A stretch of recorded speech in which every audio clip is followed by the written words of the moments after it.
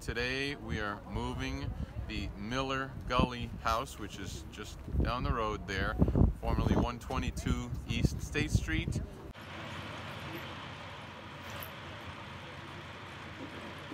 Its new address is going to be here, 822 East Side Drive. It's directly across from the historic Sterling Farmhouse, built in the 1840s.